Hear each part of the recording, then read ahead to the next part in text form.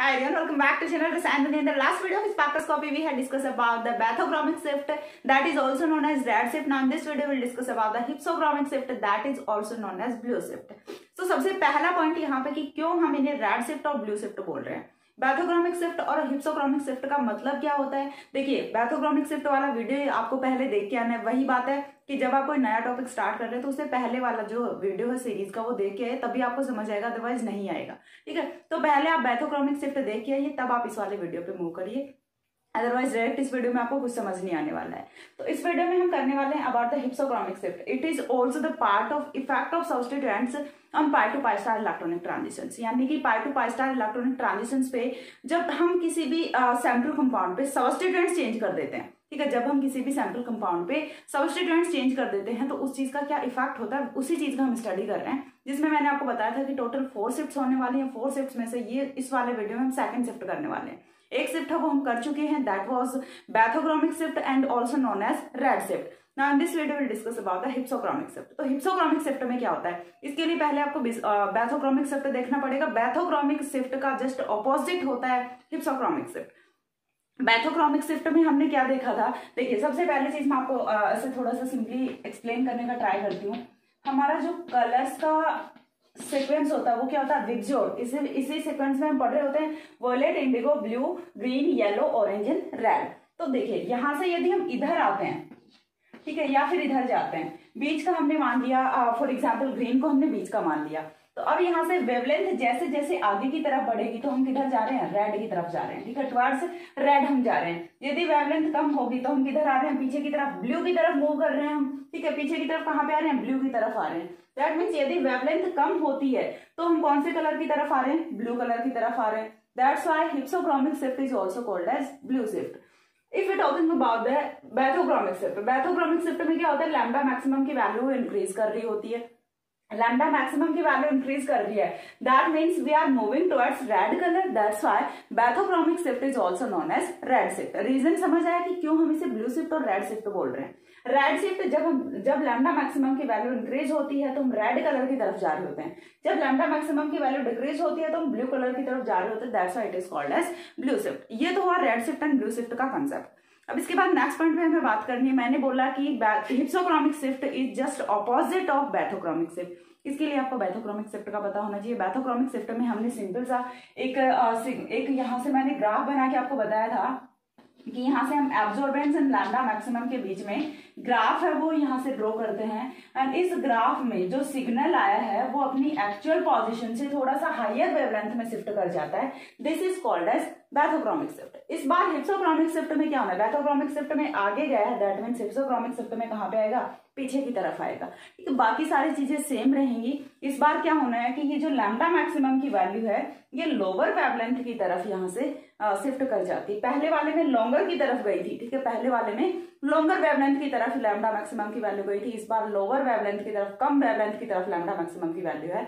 वो आ जाती है that's it is called as blue shift अब ऐसा होता क्यों हर चीज़ के पीछे का हमें कौन सा इफ़ेक्ट तो इफ़ेक्ट तो पता होना ही चाहिए। तो ऐसा होता क्यों है? रीजन क्या है इस चीज़ के पीछे का? तो रीजन वही होता है। देखिए, जब कॉन्जुगेशन इंक्रीज होता है, जब कॉन्जुगेशन इंक्रीज होता है तो लैम्डा मैक्सिमम इंक्रीज होता है, ठीक है? Whenever conjugation increases lambda maximum increases तो इसका उल्टा भी तो हो सकता है। इसका उल्टा भी हो सकता है। कोई ऐसा फैक्टर जो कि कॉन्जुगेशन को डिक्रीज कर दे। ठीक है, कोई ऐसा फैक्टर जो कि कॉन्जुगेशन को डिक्रीज कर दे तो lambda maximum also will be decreases lambda maximum क्या करेगा? डिक्रीज करेगा. दैट इज़ द रीजन ठीक है that is the reason behind blue shift red shift का रीजन क्या होता है? कॉन्जुगेशन इंक्रीज करेगा लैम्डा मैक्सिमम इंक्रीज करेगा. बट ब्लू शिफ्ट में कॉन्जुगेशन डिक्रीज कर जाता है तो lambda maximum automatically will be decreases तो ये होता है यहाँ से कंसेप्ट अब ऐसा क्यों होता है कि कॉन्जुगेशन क्यों डिक्रीज करेगा? पॉइंट वाइज हम चल रहे हैं. फ़र्स्ट थिंग हमने देखा कि ब्लू शिफ्ट क्या होता है? सेकंड थिंग सेकंड थिंग हमने देखा कि ब्लू शिफ्ट में लैम्डा मैक्सिमम की वैल्यू वो कम होती है. रीजन क्या होता है? Because of removal of conjugation और डिक्रीमेंट इन कॉन्जुगेशन अब डिक्रीमेंट इन कॉन्जुगेशन ऐसा क्यों होगा भाई? कौन से ऐसे रीजन आएँगे? कौन से ऐसे फैक्टर्स आएँगे जिसकी वजह से कॉन्जुगेशन वो डिक्रीज होने वाला है? तो वो क्या होगा? इलेक्ट्रॉन विड्रॉविंग ग्रुप ठीक है? कोई भी ऐसा सबस्टिट्यूएंट जो, जिसका भी इलेक्ट्रॉन विड्रॉविंग नेचर होता है। कोई भी ऐसा सब्सटीट्यूएंट जिसका इलेक्ट्रॉन विड्रॉविंग नेचर होता है तो वो क्या करेगा? कॉन्जुगेशन को डिक्रीज करेगा। एग्ज़ाम्पल हमने लिखा हुआ, आगे मैं आपको एक्सप्लेन करूँगी। तो कोई भी ऐसा फैक्टर जो कि इलेक्ट्रॉन्स को विड्रॉ करेगा इलेक्ट्रॉन्स को पुल करेगा, ठीक है? सॉरी हाँ इलेक्ट्रॉन्स को पुल करेगा इलेक्ट्रॉन्स को खींचेगा। तो क्या करेगा? कॉन्जुगेशन को डिक्रीज करेगा। और कॉन्जुगेशन यदि डिक्रीज हो गया तो लैम्डा मैक्सिमम वो ऑटोमेटिकली डिक्रीज हो जाएगा, क्योंकि इन दोनों के बीच का relationship you know very well बहुत these are directly proportional to each other अब हम वो करते हैं अपने थियोरिटिकल एस्पेक्ट पे जो कि हमने लिखा हुआ है यहाँ से। ठीक है? तो यहाँ से देखिए, सबसे फ़र्स्ट पॉइंट है when absorption maxima absorption maxima in the sense of lambda maximum ठीक है? This is absorption maxima when absorption maxima lambda maximum of a compound shifts shifts to lower wavelength ठीक है? टू शॉर्टर वेवलेंथ और lower wavelength from its actual position, then it is called as, it is known as hypsochromic shift or blue shift.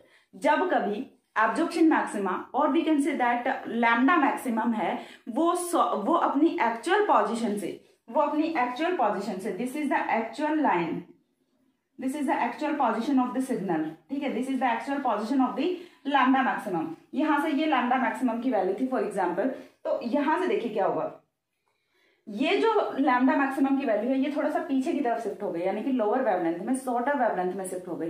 That means यहाँ पे क्या हुआ है? Blue shift हुआ है। यदि पीछे की तरफ़ आ रहे हैं दैट मीन्स हम कौन से कलर की तरफ़ आ रहे हैं? टुवर्ड्स ब्लू कलर हम आ रहे हैं। ब्लू कलर की तरफ़ आ रहे हैं तो ये कौन सा होगा? ब्लू शिफ्ट होगा। तो ये होता है ब्लू शिफ्ट या फिर आपका हिप्सोक्रोमिक शिफ्ट किसी भी नेम से पूछा जा सकता है। अगेन वही क्वेश्चन पूछे जाने के तीन टाइप्स हो सकते हैं। आपसे पूछा जा सकता है write short note on blue shift write short note on hypsochromic shift और explain the effect of substituents on pi to pi star electronic transition तो यदि आपसे ये वाला पूछा जाता है तो इसमें आपको ऑल फोर शिफ्ट वो एक्सप्लेन करनी है। Bathochromic shift hypsochromic shift and जो अपकमिंग टू शिफ्ट हैं जो अभी बची हुई हैं हाइपोक्रोमिक एंड हाइपरक्रोमिक शिफ्ट चारों शिफ्ट हम वो आपको एक्सप्लेन करनी पड़ेगी, और यदि इंडिविजुअली पूछा जाता है देन तो आपको जो पूछा गया, आप उसी के बारे में एक्सप्लेनेशन है, वो आपको करना होता है। दैट्स इट अब यहाँ से देखिए। Let's move on the second point. Uh, blue shift causes uh, blue shift causes because of presence of any electron withdrawing groups as substituent or वही सेम वही सेम थिंग और by the change in solvent और by the change in solvent change in solvent नहीं लिखा ये भी यहाँ से होता है और by the change in solvent change in solvent ये पॉइंट भी कंसिडर करना ठीक है तो यहाँ से कॉज क्या होता है? ब्लू शिफ्ट के होने का रीजन क्या होता है? वो होता है यहाँ से कि जब भी कोई इलेक्ट्रॉन विड्रोविंग ग्रुप है, वो प्रेजेंट हो किसी भी सैंपल कंपाउंड पे, किसी भी कंपाउंड पे एज ए सबस्टिट्यूएंट तो यहाँ से ब्लू शिफ्ट हो सकता है। या फिर हम क्या कर रहे हैं? सोलवेंट में चेंज कर रहे हैं तो भी यहाँ से ब्लू शिफ्ट है, वो कॉज हो सकता है। दोनों ही रीजन यहाँ से हो सकते हैं। Next point is electron withdrawing group यहाँ से जो मैंने ईडब्ल्यूजी लिखा है EWG stand for electron withdrawing group ठीक है? E R G stand for electron releasing group similarly EWG stands for electron withdrawing group. electron withdrawing group remove the conjugation that means conjugation decreases as conjugation decreases lambda maximum also will be decreases अब यहाँ से ये जो point है ये important हमने ये चीज़ तो बोल दी कि क्यों होता है ठीक है क्यों होता है क्योंकि जब यहाँ पे कोई आ, कोई इलेक्ट्रॉन विड्रॉइंग ग्रुप या फिर हम सॉल्वेंट में चेंज कर दें तो यहाँ से हो जाता है। बट ऐसा क्यों होता है? सॉल्वेंट को चेंज करने से और इलेक्ट्रॉन विड्रॉइंग ग्रुप को चेंज करने से ऐसा कौन सी, ऐसा कौन सा फैक्टर लगता है कि यहाँ से कॉन्जुगेशन सॉरी यहाँ से ब्लू शिफ्ट हो जाता है? तो ये क्या करते हैं? ये कॉन्जुगेशन को डिक्रीज कर देते हैं। कॉन्जुगेशन को डिक्रीज करेंगे तो lambda maximum automatically will be decreases now हमने यहाँ से एग्ज़ाम्पल रखा है। एग्ज़ाम्पल में हमने यहाँ से क्या किया है? सिंपल सिंपल सी चीज़ हमने लिया हुआ एसिडिक मीडियम हमने क्या किया? चेंज इन सॉल्वेंट किया। हमने एसिडिक मीडियम में किसी भी सेंट्रल कंपाउंड को डाल दिया। अब देखिए फ़र्स्ट ऑफ़ ऑल हमने क्या रखा था? एनिलीन रखा था। एनिलीन के लिए लैम्डा मैक्सिमम की वैल्यू आप you all know very well uh, we had already discussed about the aniline. That is uh, lambda maximum is equals to 280 nanometer ठीक है इसके लिए lambda maximum की वैल्यू कितनी होती है? 280 नैनोमीटर होती है। एंड 280 नैनोमीटर होने का रीजन क्या है? देखिए हमने बेंजीन के बारे में डिस्कशन किया था। ठीक है बेंजीन के बारे में हमने डिस्कशन किया था। बेंजीन के लिए लैम्डा मैक्सिमम की वैल्यू है, वो कितनी थी? 255 नैनोमीटर थी। ठीक है 255 नैनोमीटर थी। अब बेंजीन इज़ क्रोमोफोर बेंजीन वो क्या होता है? क्रोमोफोर होता है। बट यहाँ पे ये जो NH2 लगा है this one is auxochrome this one is auxochrome तो ऑक्सोक्रोम का तो काम ही क्या होता है? To increase the to increase the value of lambda maximum auxochrome का तो यही काम होता है। और कैसे करता है? बाय इंक्रीजिंग कॉन्जुगेशन ये जो लॉन पेयर ऑफ़ इलेक्ट्रॉन है, ये यहाँ से कॉन्जुगेशन में रहेगा। कॉन्जुगेशन में रहेगा तो डिलोकलाइजेशन ऑफ़ पाई इलेक्ट्रॉन्स है, वो यहाँ से ज़्यादा होगा। And as the delocalisation of pi electrons will be more so lambda maximum also will be more ठीक है? ये इतनी चीज़ यहाँ से समझ आती है। अब हम क्या कर रहे हैं? अब हम ये जो एनिलीन है, इसे डाल देते हैं एसिडिक मीडियम में, ठीक है? चलिए, हम इसे डाल देते हैं एसिडिक मीडियम में। And we all know that कि एनिलीन का नेचर कैसा होता है? बेसिक नेचर होता है। We know that it is weak base ठीक है? वीक बेस होता है। क्यों होता है? बेस का बेस क्या होता है? जो कि इलेक्ट्रॉन्स प्रोवाइड कराए, जो कि इलेक्ट्रॉन्स प्रोवाइड कराए that has tendency to donate the electrons वही होता है बेस लेकिन यहाँ पे जो लॉन पेयर ऑफ़ इलेक्ट्रॉन होता है, वो because of participate in the conjugation easily available नहीं होता है, ठीक है? इजिली अवेलेबल नहीं होता that's aniline is an weak base but still it's base ठीक है? है तो बेस ही ना, ये चीज़ तो है।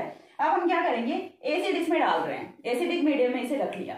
जैसे ही एसिडिक मीडियम में रखेंगे तो जो लॉन पेयर है, इस पर अटैक कौन करेगा? एच पॉजिटिव करेगा। ये तो इलेक्ट्रॉन्स का भूखा ही बैठा रहता है। इसे तो इलेक्ट्रॉन चाहिए होते हैं। अब ये सीधा कहाँ पे अटैक मारेगा? ये जाएगा एनएस टू पे। ठीक है कहाँ पे जाएगा? NS2 पे जाएगा। NS2 के लॉन पेयर के साथ में ये जुड़ के एन बनाएगा NS3 पॉजिटिव और इसका काउंटर आयन कौन रहने वाला है? दैट इज़ Cl नेगेटिव ठीक है, जो कि इसको बैलेंस करेगा, जो कि इसको सेटिस्फाई कर रहा होगा। अब यहाँ से, इस वाले केस में नाइट्रोजन पे लॉन पेयर ऑफ़ इलेक्ट्रॉन था बट इस केस में नाइट्रोजन पे कोई भी लॉन पेयर ऑफ़ इलेक्ट्रॉन नहीं है। इस केस में नाइट्रोजन पे कोई भी लॉन पेयर ऑफ़ इलेक्ट्रॉन नहीं है। कहाँ पे चला गया लॉन पेयर ऑफ़ इलेक्ट्रॉन उसे किसने ले लिया? एक एच पॉजिटिव ने ले लिया, जिससे कि इसका बॉन्ड बन गया। अब यदि हम बात करें कॉन्जुगेशन की तो पॉजिटिव चार्ज देखिए पॉजिटिव चार्ज क्या यहाँ पे इलेक्ट्रॉन्स देगा। नहीं देगा, ये तो बल्कि उल्टा खींचेगा इलेक्ट्रॉन्स को, ठीक है? ये तो क्या करेगा? इलेक्ट्रॉन्स को विड्रॉ करेगा। इलेक्ट्रॉन्स को विड्रॉ करेगा और इलेक्ट्रॉन्स हैं, जो कि पहले नीचे की तरफ़ आ रहे थे, अब कहाँ पे जाएँगे? एनएस थ्री की एनएस थ्री की तरफ़ जाएँगे। क्यों? क्योंकि NS three in which nitrogen atom has more electronegativity in compared to carbon, so that it it will it will pull the electron it will pull the electron ये electron को अपनी तरफ़ खींचेगा। क्यों खींचेगा? क्योंकि एक तो इसकी इलेक्ट्रोनेगेटिविटी ज़्यादा है, साथ में इस पर पॉजिटिव चार्ज बैठा दिया। अब कैसे कैसे टॉलरेट करेगा पॉजिटिव चार्ज को? नहीं कर सकता। तो ये क्या करेगा? इलेक्ट्रॉन्स को विड्रॉ करेगा।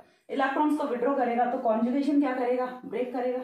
कॉन्जुगेशन ब्रेक करेगा। और कॉन्जुगेशन यदि ब्रेक करेगा तो इसके लिए जो लैंडा मैक्सिमम की वैल्यू हो, वो भी डिक्रीज हो जाएगी। And that will be two sixty five nanometre यदि हम बात करें प्योर एनिलीन की तो ये कितना था? टू एटी नैनोमीटर था। जैसे ही हमने इसका मीडियम चेंज किया, जैसे हमने इसका सॉल्वेंट चेंज किया, हमने एसिडिक मीडियम में इसे रखा तो इसकी वैल्यू है वो डिक्रीज कर गई, और ये कितनी हो गई? 265 नैनोमीटर हो गई, ठीक है? ये अलग अलग कंपाउंड्स के लिए अलग अलग वैल्यूज़ हो सकती है, ये चीज़ आपको पता है, बहुत ही अच्छे से This effect is called as blue shift. This effect is called as hypsochromic shift. Hope so uh, you understand very well about the hypsochromic shift of blue shift. यहाँ पे मैंने यहाँ पे सिग्नल भी बना के दिखाया है कि एब्जॉर्बेंस और लैम्डा मैक्सिमम के बीच में हम ग्राफ बनाते हैं। तो ये जो सॉलिड लाइन है this is the actual position of the this is the actual position of the lambda maximum and ये जो डैश डैश लाइन है डोटेड लाइन है ये क्या है? ब्लू शिफ्ट है। ठीक है? दिस इज़ ब्लू शिफ्ट तो ये होता है आपका हिप्सोक्रोमिक शिफ्ट नाउ दिस इस वाले वीडियो को हम यहीं पे समअप करते हैं एंड नेक्स्ट वीडियो है, वो आपका होने वाला है। उस वाले वीडियो में हम जो रिमेनिंग टू शिफ्ट हैं, दोनों के बारे में डिस्कशन कर देंगे, क्योंकि दोनों में छोटा ही बचा है एंड टॉपिक के साथ में आप फैमिलियर हो चुके हैं एंड जो मोस्ट ऑफ़ फैक्टर्स हैं, वो मैं इसी, इन्हीं दोनों वीडियोज़ में एक्सप्लेन कर सकी कर चुकी हूँ। तो सॉरी कर चुकी हूँ। तो जो आगे का वीडियो होने वाला है, उसमें जस्ट आपको hyperchromic shift and hypochromic shift के बारे में पढ़ना है, क्योंकि जितने भी एडिशनल फैक्टर्स होते हैं, वो सारे के सारे एक्सप्लेन कर चुकी हूँ। तो आप ये दोनों वीडियोस देखिए। एंड तीसरे वीडियो में मैं आपको पूरा का पूरा effect of substituent on pi to pi star electronic transition वो कंप्लीट करते हैं। उसके बाद हम देखेंगे इफ़ेक्ट ऑफ़ कॉन्जुगेशन अभी तक हम देख रहे हैं effect of effect of substituents इसके बाद हम देखेंगे effect of conjugation and then हम चलेंगे वुडवार्ड फाइजर रूल पे। That is most important topic of UV visible spectroscopy और वहाँ से क्वेश्चन पूछे ही पूछे जाते हैं। तो जल्दी से कंप्लीट करेंगे एंड होप सो आपको समझ आ रहा होगा। यदि समझ आ रहा है so tell me in the comment section and uh, आज के वीडियो में इतना ही नेक्स्ट मिलते हैं दूसरे वीडियो में तब तक के लिए see ya have good day thanks for watching screen shot ले लेना। और स्क्रीन तो ऊपर चली गई थी।